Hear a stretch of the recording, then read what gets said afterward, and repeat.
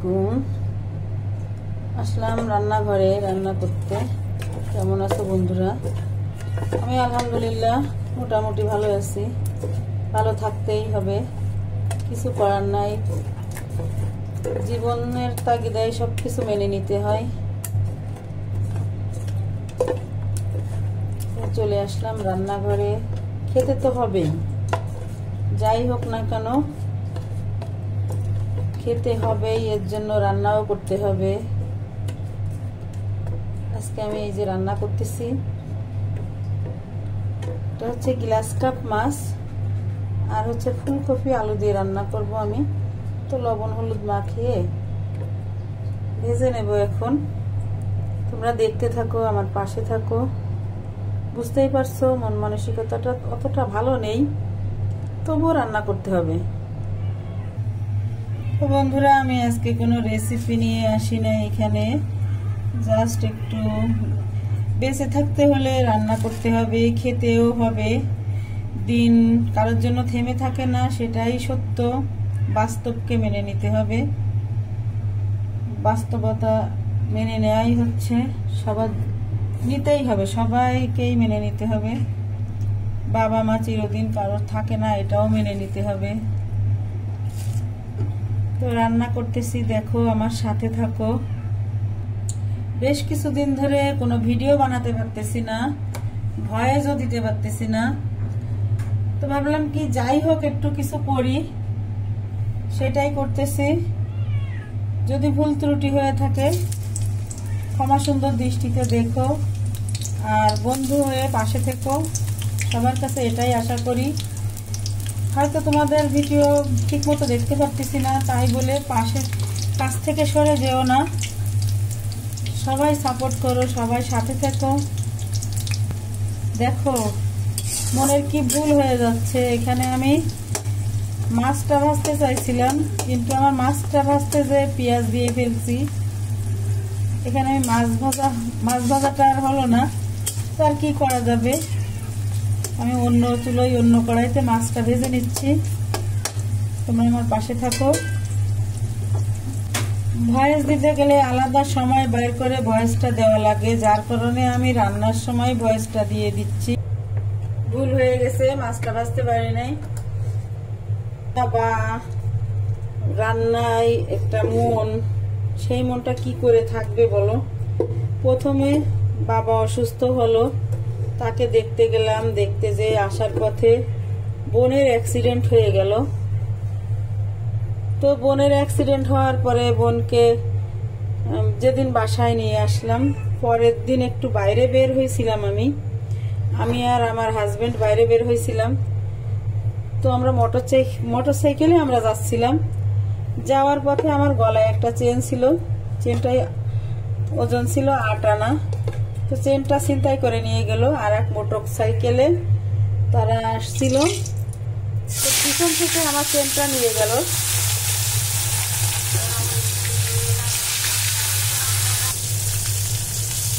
যেদিন আমার চেনটা নিয়ে গেল চেনটা নিয়ে যাওয়ার পরের দিনের কথা গেলাম। আমি আমার বাবাকে দেখতে গেলাম, আমি আর আমার মেয়ে গেলাম। বোন তো যাওয়ার মতো পরিস্থিতিতে ছিল না। সে মাথায় উঁচু করতে পারে না। তো গেলাম, বাবাকে দেখতে গেলাম যে যে দেখলাম যে খুবই খারাপ অবস্থা। তো আমার হাজব্যান্ডকেও ফোন করলাম যে, তুমিও এসে দেখে যাও। তো মেয়ে আর বাবা চলে আসলো, পরে দেখার পরে রাত্রে মেয়ে আর বাবা চলে আসলো। আমি থেকে গেলাম। তো বাবা কিছুই খেতে পারে না, সবাই বলে যে কিছুই খেতে পারে না। আমি খাসির মাংস রান্না করে নিয়ে গেছিলাম। আমি আমার ভাইয়ের বউকে বললাম যে, অল্প করে কিছু ভাত দাও। আমি চেষ্টা করে দেখি খাইতে পারে কি না তো আমি খাসির মাংস দিয়ে ভাতটা মেখে ডালে দিলাম। একদম ছোট বাচ্চা যেমন করে খাই, ওইভাবেই ডালে দিলাম। ছোট বাচ্চার গালে যতটুকু ভাত দেয়, অতটুকু ভাত আমি আমার বাবার গালে দিলাম। যতটুকু ভাত দিছিল, পুরা ভাতটাই আমার বাবা খেয়ে নিল। তো খুবই ভালো লাগল যে আমার হাতে আমার বাবা কিছু ছোট বাচ্চার মতো। তখন মনে হচ্ছিল কি, যে মা যেমন সন্তানকে খাওয়াই ঠিক ওই রকম। এইভাবেই খাইলো আমার বাবা। পরের দিন সকালে, ঠিক শুক্রবার ছিল পরের দিন শুক্রবার ছিল, আমি বৃহস্পতিবারে গেছিলাম। শুক্রবারের দিন বেলা বারোটা একটা বা বারোটা, বারোটার বাজে। বারোটার দিকে আমার আব্বাকে বের করে গোসল করাইলাম। সুন্দর করে গা, পা, ডলে ডোল গোসল করাই দিলাম। আমার আব্বা কোনো কথা তেমন কোনো কথা বলতে পারতেছিল না। মাঝে মাঝে একটু পানি যাচ্ছিল লাস্টের দিকে আর পানিও চাইতে পারিনি। আমরা নিজেরা ইচ্ছে করে গালে দিচ্ছিলাম। পরে সন্ধ্যা যখন সাতটা বাজে, শুক্রবারের দিন সন্ধ্যা যখন সাতটা বাজে, তখন আবার আমার বাবাকে আবারও সেই খাসির মাংস দিয়ে আবারও অতটুকু ভাত খাওয়াইলাম। যতটুকু ভাত নিয়েছিলাম, সম্পূর্ণ ভাতটাই আমার আমার আব্বা খাইছিল। আমি আরও বলতেছিলাম যে আর একটু ভাত আনব। ছোট বোন বলল, না, যেটুকু খাইছো ওইটুকুই থাক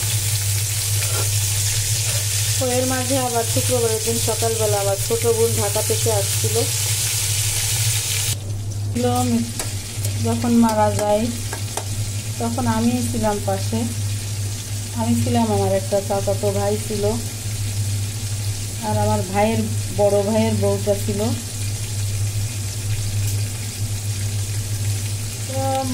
ভাত খাওয়ানোর কিছুক্ষণ পর আবার মালটার বেদানার রস খাওয়াইলাম। তারপরে যখন আটটা সাঁত্রিশ মিনিট বা, রাত আটটা সাঁত্রিশ মিনিটে আমার বাবা শেষ বিদায় নিয়ে চলে গেল।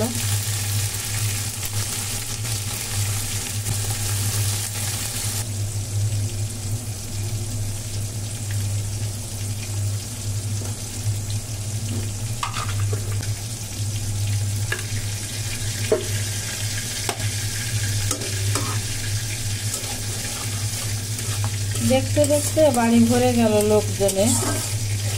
সবাই আসলো পাড়া প্রতিবেশী। বাবা মা কারও চিরদিনই বেঁচে থাকে না। যাদের বাবা মা আছে, তারা সবসময়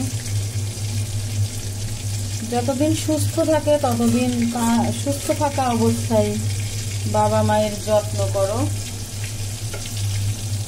শেষ বেলায়ের যত্ন কোনো কাজে লাগে না। বাবা মা যতদিন সুস্থ থাকে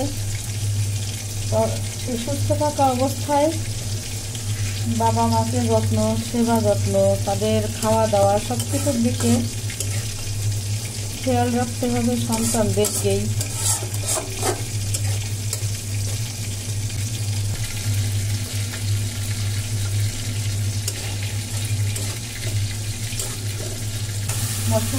মশলাটার কালার একটু অন্যরকম হয়ে গেল।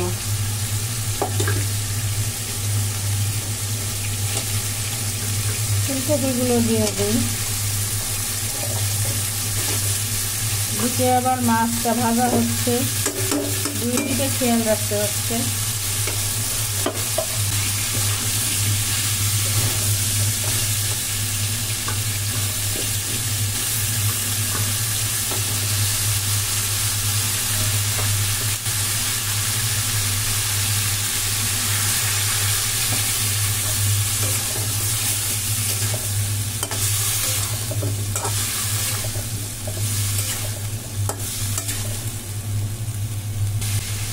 ঢাকা দিয়ে দিয়ে রেখে দিই।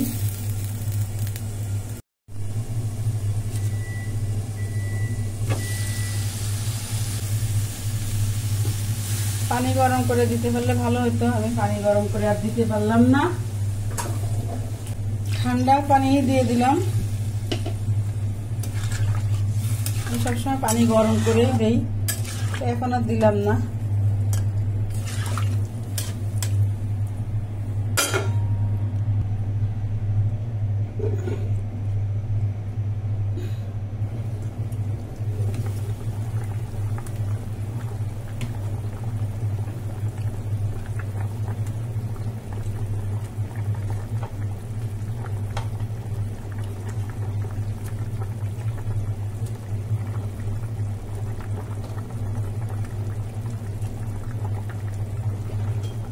আমরা কেউই জানি না যে বিপদ কোন দিক থেকে আসতেছে, কখন আসতেছে, কিছুই জানি না।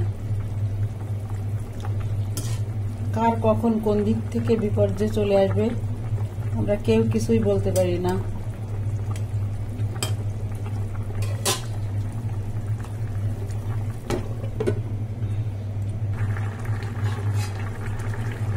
আমাদের বন্ধুরা, আমার রান্নাটা প্রায় শেষ হয়ে এলো। তো আমাদের মাথার উপর থেকে বট গাছটা ছায়া সরে গেছে। বট গাছের যে ছায়াটা ছিল, সেই ছায়াটা সরে গেছে। আর কোনোদিন কাউকে বাবা বলে ডাকতে পারব না। বাড়িতে যে দেখব না যে বসে আছে, এক কোনায় আমার বাবা। বাবা বলে আর কাউকে কোনোদিন ডাকতে পারব না। থাকতে কেউ বোঝে না। যতদিন বেঁচে থাকে কেউ আমরা বুঝি না যে বাবা মা কি জিনিস। আমরা বোঝার চেষ্টাও করি না। তো যাদের বাবা মা বেঁচে আছে, তারা সবাই বাবা মাকে যত্ন করো আর কিছুই বলব না।